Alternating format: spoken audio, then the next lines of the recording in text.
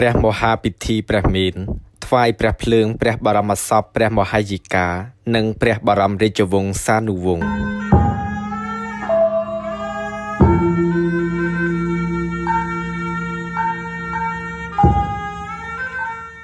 នៅដើមរជ្ជកាលព្រះករុណាព្រះបាទសម្ដេចព្រះនរោត្តមបរមរាមទេវាវតាព្រះចៅក្រុងកម្ពុជាធិបតីបន្ទាប់ពីព្រះអង្គយាងមកសាងព្រះបរមរាជវាំងចតុមុខមង្គលនារាជធានីថ្មីបានស្រេចបរិបូរហើយនោះព្រះអង្គសពព្រះរាជហឫទ័យត្រាស់បង្គាប់ឲ្យសេនាបតីក្រសួងរៀបចំសាងព្រះមេនមាសដើម្បីថ្វាយព្រះភ្លើងព្រះបរមសពសម្ដេចព្រះរាជអាយកាសម្ដេចព្រះមាតុច្ឆាសម្ដេចព្រះភិក្ខនីយាអង្គមី សម្ដេចព្រះមហេសី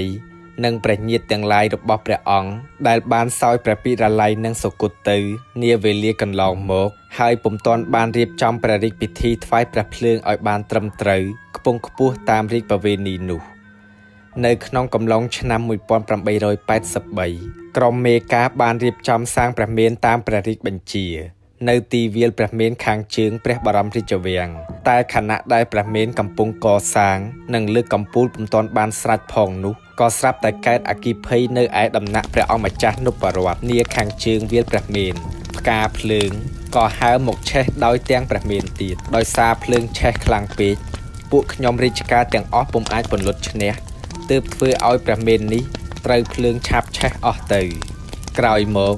ព្រះករុណាជាអម្ចាស់ជីវិតដំកល់លើត្បូងព្រះអង្គត្រាស់បង្គាប់ឲ្យកសាងព្រះមេនជាថ្មីម្ដងទៀតដោយមានទំហំធំជាងមុន ទំហំសសរ4ហត្ថ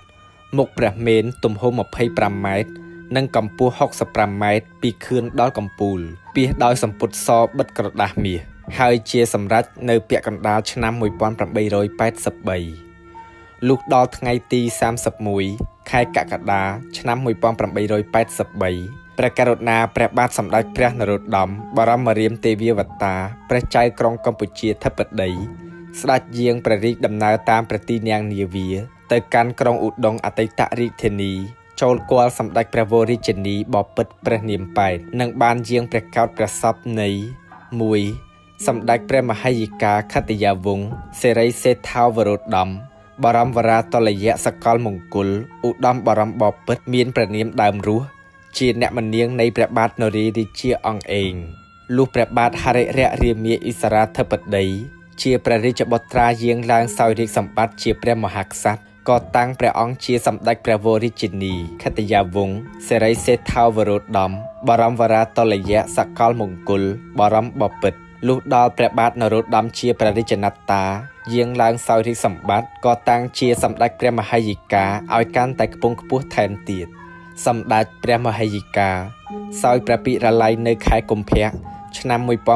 1866ដោយព្រះជរាពាធត្រឹមព្រះជន្ម91ព្រះវស្សា នៅព្រះដំណាក់កំពង់ពោធិ៍តូចខាងជើងភ្នំព្រះរាជទ្រព្យព្រះបរមសពត្រូវបានព្រះករុណាព្រះបាទសម្ដេចព្រះនរោត្តមយាងមកតម្កល់ប្រារព្ធព្រះរាជពិធីបុណ្យនៅព្រះបរមរាជវាំងឧដុង្គ ទី2សម្ដេចព្រះមាតុច្ឆាកម្ពុជាធិបតីព្រះអនុជរាជមេត្តរសិរីសន្តោធម្មចារិនី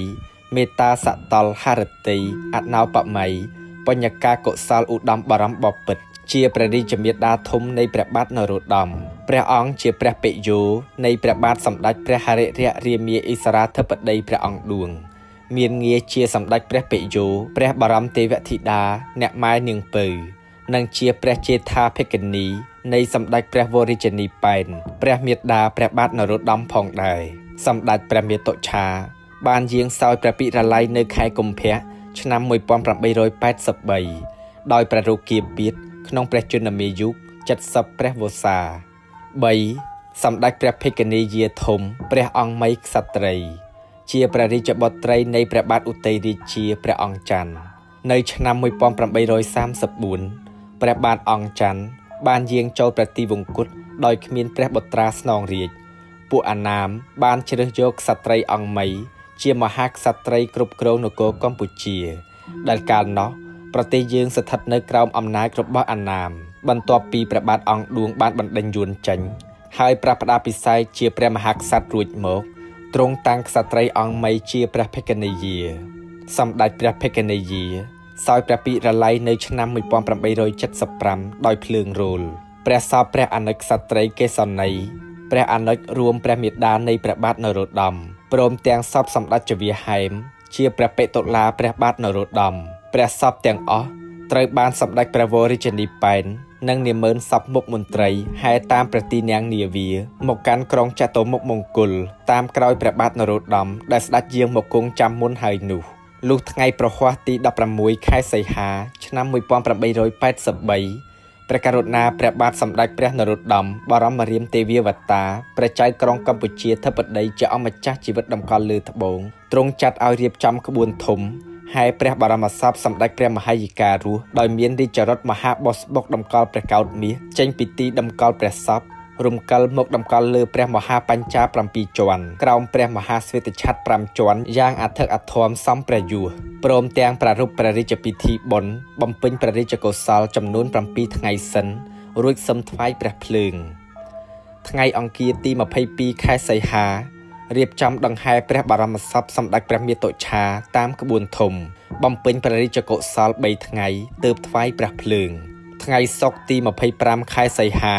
ដង្ហែព្រះបរមសពសម្ដេចព្រះភិក្ខនីយាអង្គមីនិងព្រះបរមសពសម្ដេចព្រះរាជមហេសីតារាកោតាមក្បួនធំ បំពេញព្រះរាជកុសល3ថ្ងៃរួចរៀបចំព្រះរាជពិធីព្រះរាជទានភ្លើងព្រះសព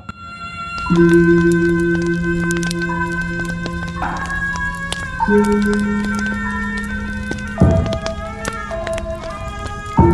ឺ